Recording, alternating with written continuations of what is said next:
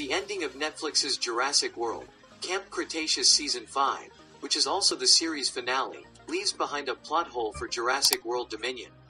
In Camp Cretaceous Season 5, the teenage campers dubbed the Nublar 6 fight to stop Mantah Corp's plan to sell its technology that can remotely control dinosaurs.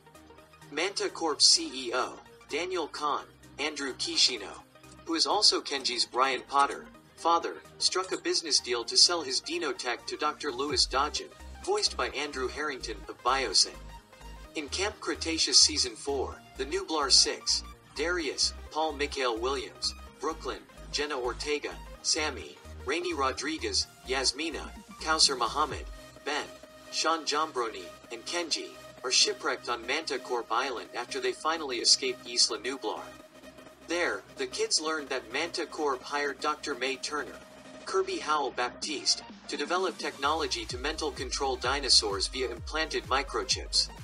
The dino's actions and behavior could then be totally controlled by tablets or video game like controllers.